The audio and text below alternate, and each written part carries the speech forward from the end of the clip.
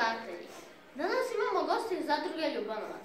Nedavno su išli na putovanje i zamislite, zaustavljeni u nanosu snijega, ali kao pravi zadrugari pokazali su da su jači od strašnoga snijega kojeg su vlastitim rukama stvorili. S nama su Ljuban, Pero i Draga.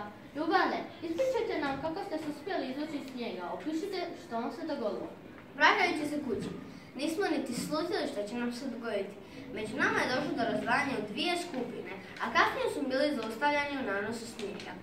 Morali smo zakopati naše radne sjekire i udružiti se. Rekao sam njima da mi moramo ići sklanati snijeg iz pruge kako bismo se na vrijeme vratili kući i ne zadavali brige našim roditeljima.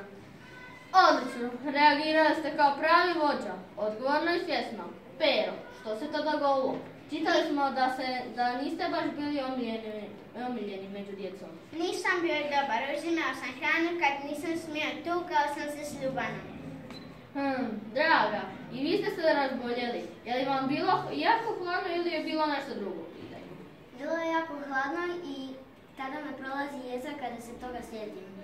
Ljubane, kako ste, uspje- kako ste uspjeli nagovoriti konduktera da vas spusti na hladnoću i jako gust snijeg? Svi smo ga glasno nagovarali. Bili smo toliko uvjerljivi da nije imao izbora. Pero, vi ste se do- dobro dosjetili da bi vam papirnati tanjurici mogli pomoći.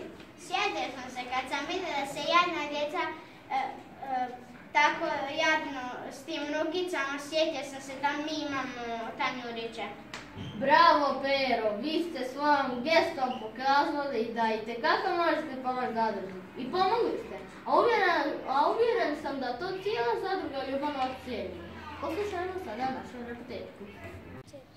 Lijep vam pozdrav, dragi gledatelji. Predstavit ću vam djevojčice iz zadruge Ljubanovac i konduktera koji je bio s njima u vlaku onoga dana kada se dogodilo da je vlak ostao u snijegu.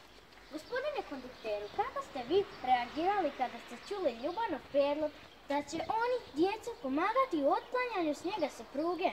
Da, Ljuban je predložio i priznajem, nisam to očekivao. Ali kad sam vidio volju te divne djece popustice, još se dosjetio Tanjujića koji su puno pomogli. Sad nam recite nešto o pozitivnim i negativnim slučajima u vlaku. Što je bilo loše i neprihvatljivo?